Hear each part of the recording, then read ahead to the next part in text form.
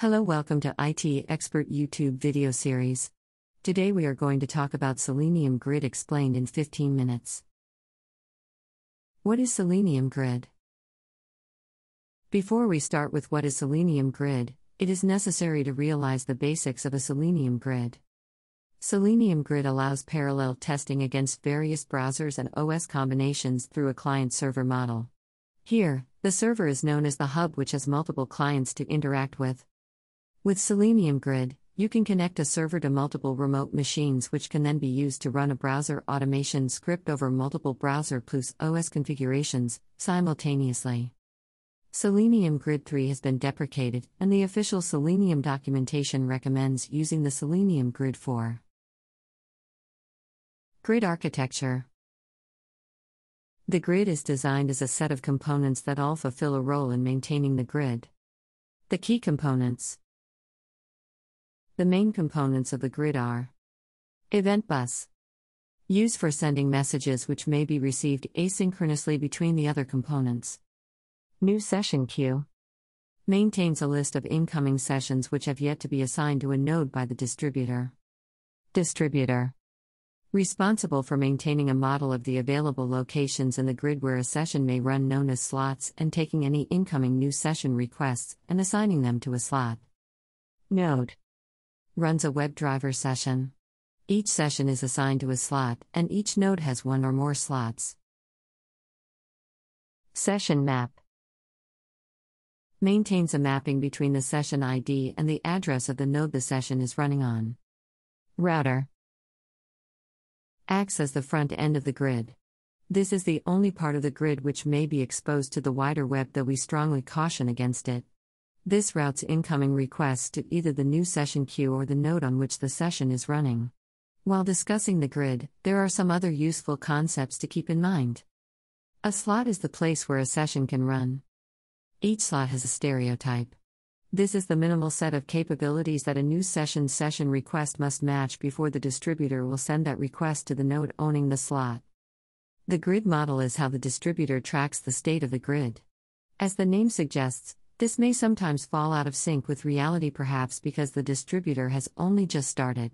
It is used in preference to querying each node so that the distributor can quickly assign a slot to a new session request. Synchronous and asynchronous calls. There are two main communication mechanisms used within the grid. Synchronous REST-ish JSON over HTTP requests. Asynchronous events sent to the event bus. How do we pick which communication mechanism to use? After all, we could model the entire grid in an event based way, and it would work out just fine. The answer is that if the action being performed is synchronous, e.g., most WebDriver calls, or if missing the response would be problematic, the grid uses a synchronous call. If, instead, we want to broadcast information to anyone who's interested, or if missing the response doesn't matter, then we prefer to use the event bus. One interesting thing to note is that the async calls are more decoupled from their listeners than the synchronous calls are. Startup sequence and dependencies between components. Although the grid is designed to allow components to start up in any order, conceptually the order in which component starts is. The event bus and session map start first. These have no other dependencies, not even on each other, and so are safe to start in parallel. The session queue starts next. It is now possible to start the distributor. This will periodically connect to the session queue and poll for jobs, though this polling might be initiated either by an event that a new session has been added to the queue or at regular intervals. The router can be started. New session requests will be directed to the session queue, and the distributor will attempt to find a slot to run the session on. We are now able to start a node. See below for details about how the node is registered with the grid. Once registration is complete, the grid is ready to serve traffic. Node registration. The process of registering a new node to the grid is lightweight. When the node starts, it should emit a heartbeat event on a regular basis. This heartbeat contains the node status. The distributor listens for the heartbeat events. When it sees one, it attempts to get the status endpoint of the node. It is from this information that the grid is set up. The distributor will use the same status endpoint to check the node on a regular basis, but the node should continue sending heartbeat events even after started so that a distributor without a persistent store of the grid state can be restarted and will eventually be up to date and correct. Here is example. The slot object. The slot object represents a single slot within a node. A slot is where a single session may be run. It is possible that a node will have more slots than it can run concurrently. For example, a node may be able to run up 10 sessions, but they could be any combination of Chrome, Edge, or Firefox. In this case, the node would indicate a max session count of 10, and then also say it has 10 slots for Chrome, 10 for Edge, and 10 for Firefox. The session object. This represents a running session within a slot. How Selenium Grid works. Selenium Grid is comprised of two concepts Hub, Nodes. What is a hub in Selenium Grid? It is the center of the Selenium Grid architecture that manages the network of the test machines. There is only one hub in a network which is assigned to a test of desired capabilities operating system, browser, browser versions, and then the hub finds the test that matches the given configurations. A Selenium hub is referred as the server. What are nodes in Selenium Grid? Nodes are the test machines that execute the test that was earlier loaded on the hub. There can be multiple nodes configured with a different operating system and different browsers. It is not mandatory for the node to run on the same platform on which the hub is running. Selenium nodes are referred as clients connected to a server, i.e., a hub. Infrastructure to configuring a Selenium grid setup for parallel execution involves just two steps. Step 1 Creating a hub. Step 2 Defining the nodes and connecting to that hub. Configuring nodes for Selenium Grid. Since the hub has already been created, the next step to Selenium Grid setup for parallel execution would involve launching a node. You start with going to the other machines where we want to set up nodes. Again, these machines should have a JDK JRE setup. In the node machine, open a command prompt or terminal and navigate to the directory where you have saved the browser driver files. Selenium Grid Setup and Prerequisites You would have to make sure that your system has Java Runtime Environment or better yet Java Development Kit installed. Though most people recommend going for the latest JDK, I prefer an earlier tried and tested versions like JDK SE 08 or 09. You can go for the latest one if you wish. Configuring Firefox driver in Selenium Grid Setup. Here is example. Configuring eDriver in Selenium Grid Setup. Note Please make sure that you select different ports for different nodes to connect with a single hub running on port 4444. Also, before running your test on E, make sure that the browser zoom is exactly 100% otherwise it might show an error.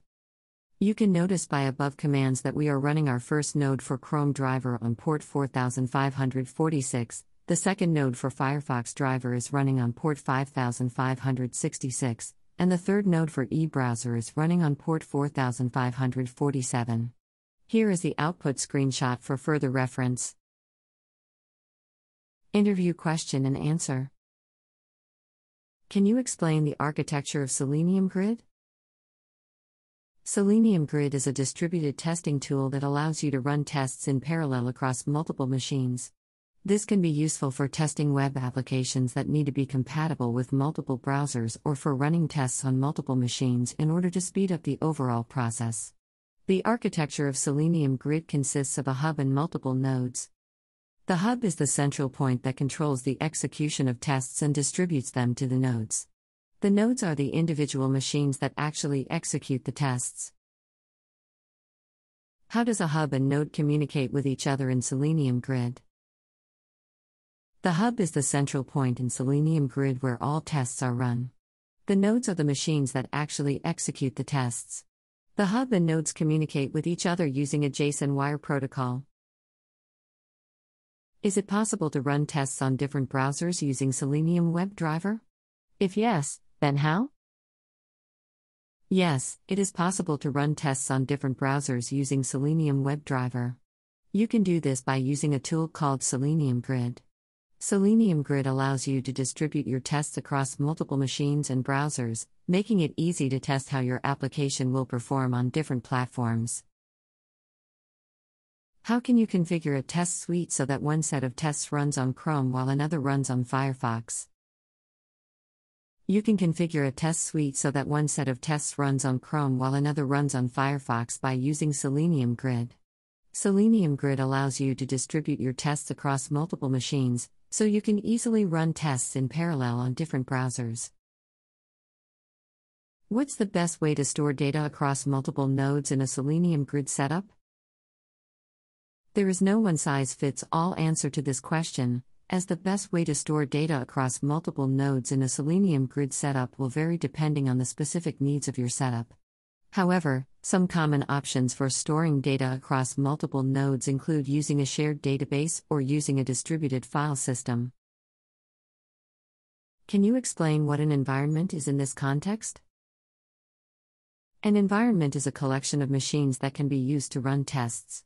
This can include physical machines, virtual machines, or even cloud based machines. When using Selenium Grid, you can specify which environment you want to use for running your tests. This allows you to easily switch between different environments, depending on your needs. What difficulties will I face if I use Selenium Grid for cross browser testing purposes? One of the main difficulties you may face is that Selenium Grid is not as widely adopted as some of the other cross browser testing tools. This means that there may be fewer resources available to help you if you encounter problems. Additionally, Selenium Grid can be difficult to set up and configure, so you may need to invest some time in learning how to do this properly. What is the difference between cloud testing and Selenium Grid testing? Which one would you recommend for high load scenarios? Selenium Grid is a testing tool that allows you to distribute your tests across multiple machines in order to speed up the testing process. Cloud testing is a testing methodology that allows you to test your application in a real world environment. I would recommend using Selenium Grid for high load scenarios because it will allow you to distribute the load across multiple machines and therefore reduce the overall testing time. Why do you think Selenium Grid is not as popular as Docker or Kubernetes for scaling out web based applications? I think that Selenium Grid is not as popular as Docker or Kubernetes for scaling out web based applications because it can be more difficult to set up and configure. Additionally, Selenium Grid does not provide as many features and benefits as Docker or Kubernetes. Thank you for watching this video. We provide Handspin training with Labs homework group projects. Prepare you for the certification. Provide real projects. Internship opportunities. Support you in Resume LinkedIn. Staffing support. Provide tech references. In person online class. Class retake options and more. Call us at 847 350 9034 for your free career consultation meeting. Please do not forget to like, share, and subscribe to our channel for the latest videos.